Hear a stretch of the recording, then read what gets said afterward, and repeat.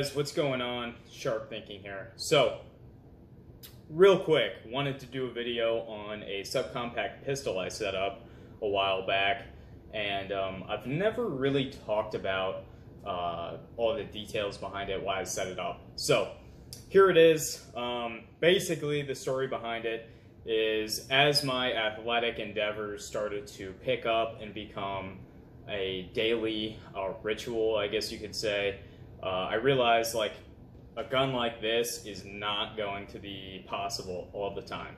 Um, lots of running, lots of hiking, lots of biking, um, you know, just stuff like that. I wear athletic shorts almost all the time, uh, unless I'm at work, and you know, you can't carry this in athletic shorts easily. Um, now, some people, depending on what shorts you have, might not be able to carry anything easily. Um, I wear tack hunt fish.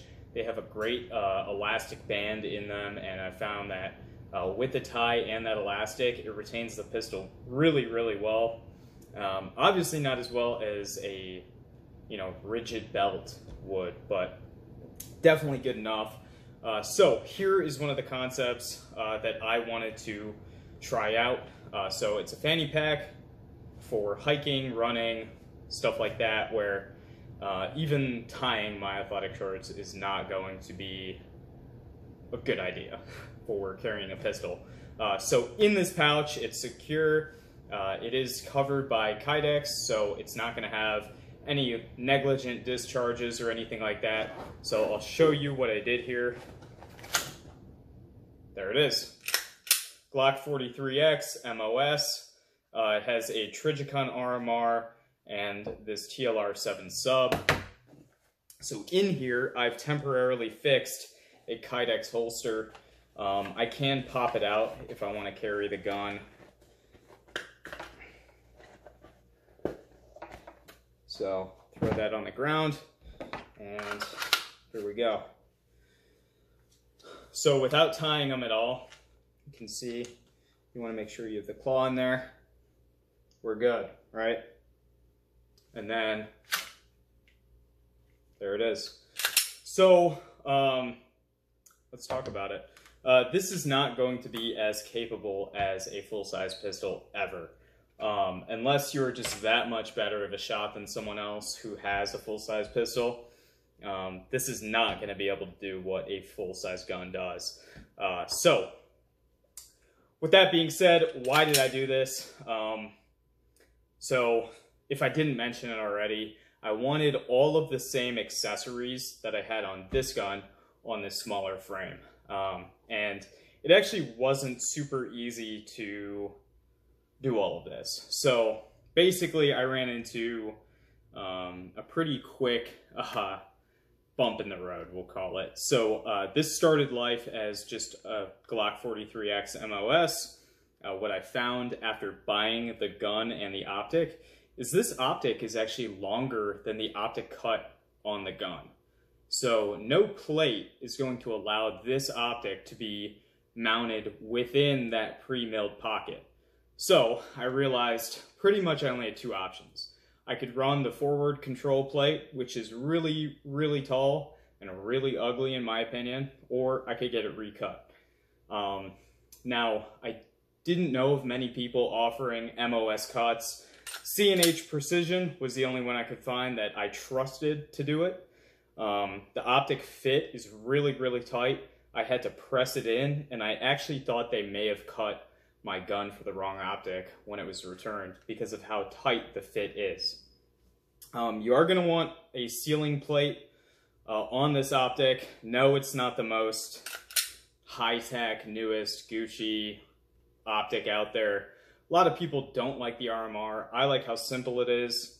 It's got two buttons and that's it. Battery change. Yeah, it's super inconvenient, but you know, uh, in this instance, I was going with a lower profile optic. So I wanted something that canted in a fanny pack was not going to add height to the gun. Um, so a closed emitter, in theory, could have added height.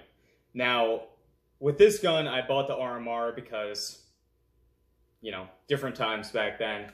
the Acro P2 was not out and the Acro P1 was not a viable option. Uh, according to a lot of people, it had really bad battery drain and stuff like that. We're not talking about that. We're just talking about this. Um, this is sufficient for the gun it's on. Um, the light, I do like my lights. Proud of the muzzle. It keeps uh, the gun from going out of battery if something were to be pressed against the slide, which having to use this at all is very unlikely. Having that occurrence happen while you're using it is even less likely. Um, but I didn't see the Surefire option option as being a viable option. Uh, it was way underpowered, way more expensive. It had a weird battery system that Surefire developed. It just wasn't it. And it was very short and not proud uh, of the muzzle. So it's just preference. Uh, that's all this, anything on my channel boils down to preference. Um, and I feel like that goes for any channel. So yeah, uh, how does this gun shoot?